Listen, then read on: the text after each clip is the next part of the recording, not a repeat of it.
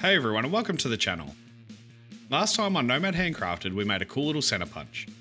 It was a fun little project as I find myself slipping deeper into this learning how to machine things spiral, but something's kept me up at night since then as I didn't have much luck making my own springs. So today I'm shooting for redemption. We're going to be figuring out these springy little buggers and might even make a little spring loaded tap follower with its own custom made spring. If that sounds like something you're into, hang around to see how this one turns out.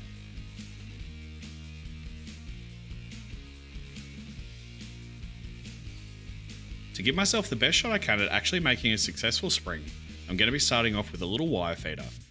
This is not an original idea. I've definitely taken the principle and basic idea from this little tool from a This Old Tony video. Thanks Tony. Here's are several steps up on mine, but the basic idea really made sense to me. I'll start by squaring up a piece of 16mm bar stock. Don't think I need this to be super square, but I do have some rough measurements that I'm trying to work to, so having it a little bit square should help.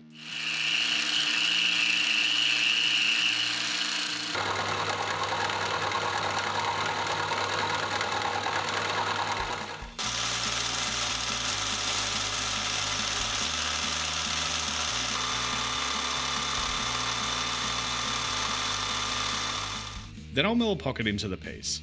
Again, I don't think this needs to be really close to a dimension, but it needs to be tall enough for me to be able to get my fingers in there, and have enough room for us to make a little brake pad. The depth is the same, just deep enough to be able to fit my fat fingers in there. I'm thinking somewhere around 10mm deep and 16mm high should do the trick.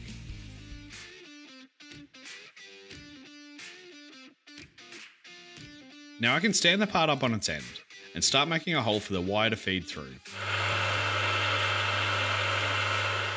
I've set this one close to the bottom of the channel we made earlier, but just sitting up enough that the wire will have to travel a little uphill to make its way through.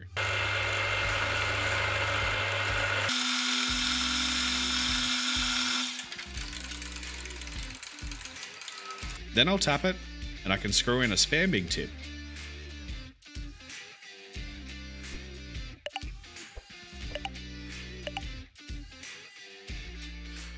Hopefully this is starting to make sense. The wire will slip through the body and out through the tip. The tips I have around here are all smaller than the wire that I'm planning to use for the springs, so I'll drill them out a little so the wire can feed through.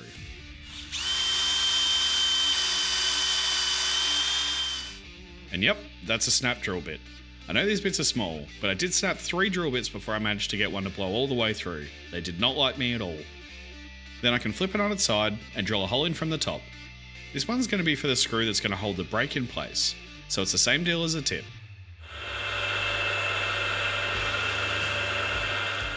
I look at the tapping function on my mill all the time, and I've never tried it, so let's have a go at power tapping. I'm still struggling along with my cheapo crap taps, but I have a spare one of this one, and yep, I have bought multiple cheap ones that probably cost more than just buying a good one. Oh, you cheap bastard! This is an investment, man! And as soon as a chip formed, it grabbed, pulled itself out of the collet, and jammed. Power tapping! It didn't seem to mess up the hole too bad, but that tap is toast. So I think I'll just go back to hand tapping so I don't stuff up the whole part. Hand tapping. For the little brake shoe, I've got a little slice of brass. I'm just going to peck a little dimple into the top so the base of the bolt has somewhere to sit, and hopefully keep it in place while the wire slips through. But it's way too wide. So I hold it in place and scribe a line to the right depth, and whiz off the excess with a grinder.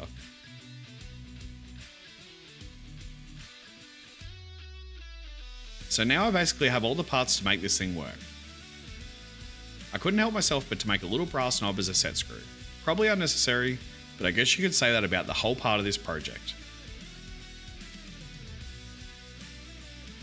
To finish this one off, I'll weld on another piece of 16mm bar stock at the back at 90 degrees, so I have a way to clamp it in the tool post. I should really learn to TIG. It's on my list, but MIG is going to have to do for today. The cleanup was rugged, but it's on there now. With a little trip to the grinder to grind off some excess and give the faces a bit better finish, I'll call this one done and see if it works. So the idea of this is that it might even help if I turn it so you can see it, is that I'll feed the wire in along the bottom of the slot and then push it through the tip. Then put on the little brake and gently apply a little force with the screw. Without anything holding the spring down, the wire will want to go mad and whip everywhere, but having light pressure should help keep tension on the wire as we wind it, hopefully making the pitch really even and keeping it snug on the arbor. Well, hopefully that's what happens. I don't have a spring here I'm trying to replicate, and something I did learn on the last project is that the amount that the spring pops out after it's wound is a lot more than I thought it would be, but using a calculator should help. This site was super helpful. In the calculator section, it has a spring winding mandrel calculator. So it's in metric, and our outer diameter we're shooting for is 9.8 millimeters. Wire diameter, 1 mil, closed and ground. 3.5 mil for the pitch, and 20 coils should give us something between 70 and 75 mil in length. Perfect. And this is the number we care about the most, the winding arbor diameter. It's saying that to account for the spring back, we'll need to coil the spring wire around a 6.48mm arbor for it to be 9.8mm final size when we break it free from the tension. It also tells me roughly how much wire I should need, and how strong it will be. But another interesting number is the compressed spring height. We need to be able to compress the spring as much as we need, but if it bottoms out, it's going to limit the range of our movement. 21 mil will give me more than enough room for what I have in mind. Enough theory, let's see if we can get all this to work. A lot of boring math later. So I have a little arbor made. It's down to the target diameter, but the stick out was scaring me. I've already killed my dead center today, and I don't really have any means of end support for a few days.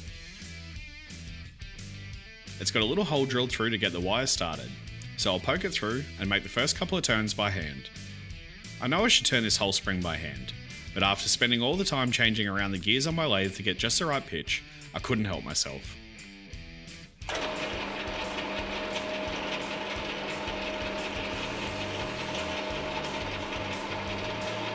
In low gear with the half nut engaged, I'll let it run until just before my little mark, and wind on a couple of closed loops to hold it all together.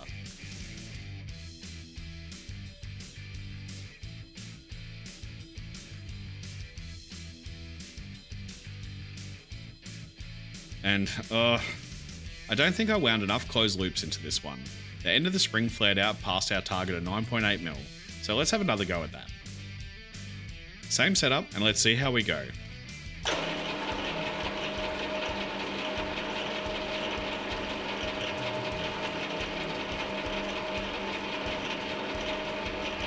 Down to the end with a few extra closed loops this time, and... Ah! Why did it kick sideways like that?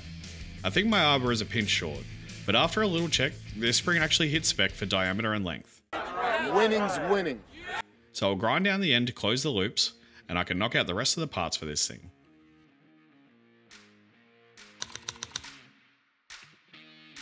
So the rest of the parts are pretty straightforward. I'll chuck up some 20mm round mild steel and face off the end. Then center drill for a little support. And take the bar down to diameter. I do have the center here, as I made most of these parts before the spring, but give it a minute, it won't last forever.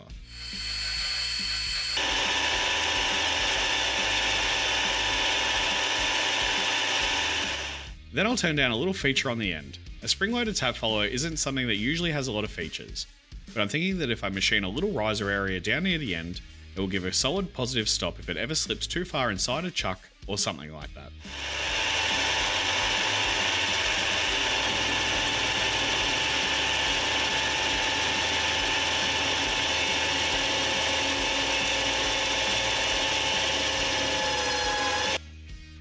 And there goes the dead center. I'm definitely not treating it right. It's been spinning too fast for too long. I do have a live center on the way, but from here on out, we have no end support.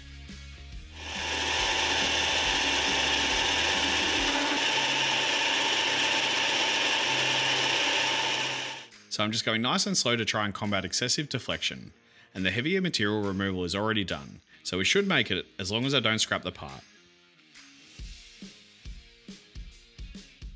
A quick chamfer on the end, and we can drill the relief for the spring-loaded pin to poke through.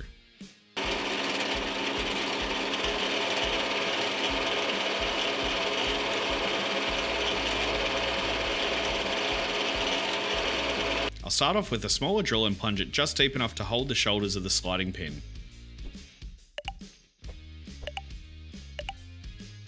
That hole was slow. I had to drill all the way through the body leaving about 8mm material at the end to keep the pin captive. Then part it off, flip it in the chuck, and drill through with the larger bit from the other end.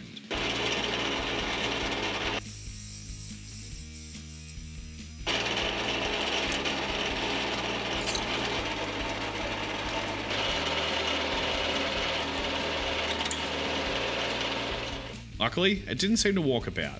I just took it really slow, pecked out a little, and kept clearing the chips. Then I'll run a reamer through and oversize the end of the tube for a thread.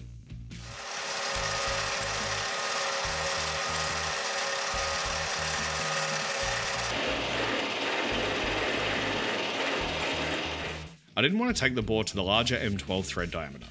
I was worried about my captive spring binding up on the threads, but if they're only the depth of the blind captive bolt, there shouldn't be any thread for the spring to grab.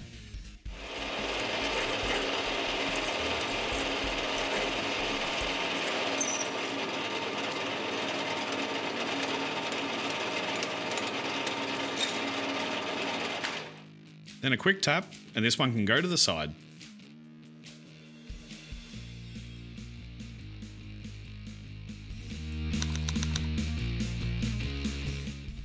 For the bolt that's going to hold this all together, I'll just turn down a bolt head to be smaller than the body diameter so it doesn't foul on anything in use. Then add a little bit of taper to the end to make it feel nice in the hand.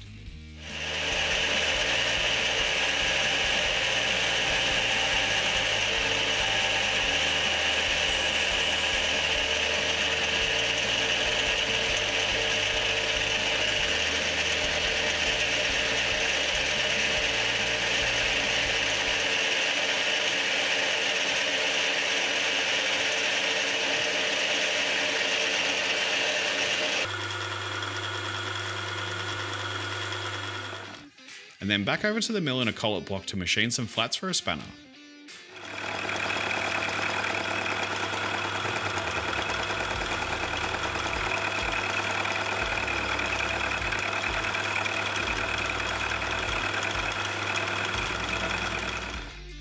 And this little guy can go over with the rest of the parts. Now for the last part, the follower part of the tap follower. I want to harden this part, and the only hardenable steel I have around is some medium carbon 1045. It's probably not ideal, but it's what I have, so it'll have to do. And as you can see, I've already turned most of the diameter into chips, but I guess you gotta do what you gotta do.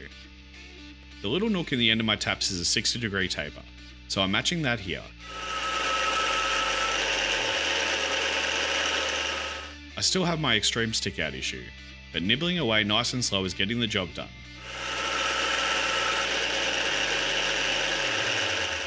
I'm thinking I should have a fair margin for error out here, so that should work.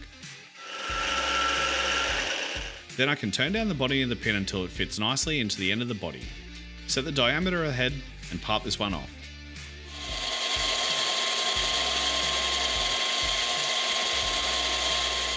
I won't be hardening this one in the video, but I will be before it gets much heavy use.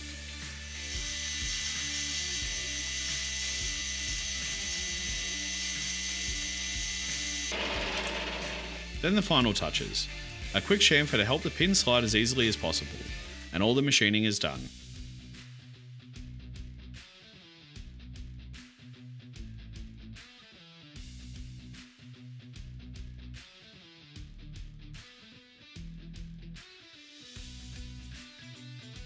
Putting this one together is really straightforward. All I need to do is simply slide the pin inside the main body,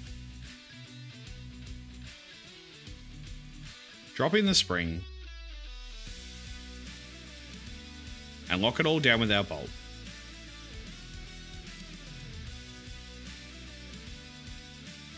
And there we have it, our spring-loaded tap follower.